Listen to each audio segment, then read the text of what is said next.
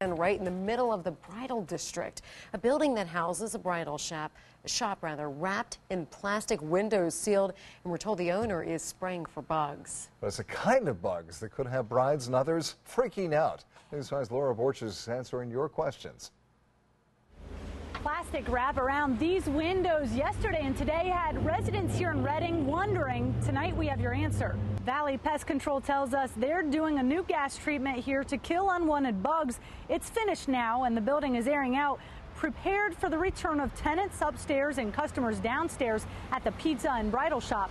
We asked what the problem was, and we're told the building is under new management, which decided to do a preventative fumigation against all bugs. This gas is 100% effective against bed bugs, including the eggs. Um, any treatment done with Vikane gas um, is the only thing on the market that is 100% effective. It's a one uh, day treatment, and in 48 hours, any insect that's in there is completely dead.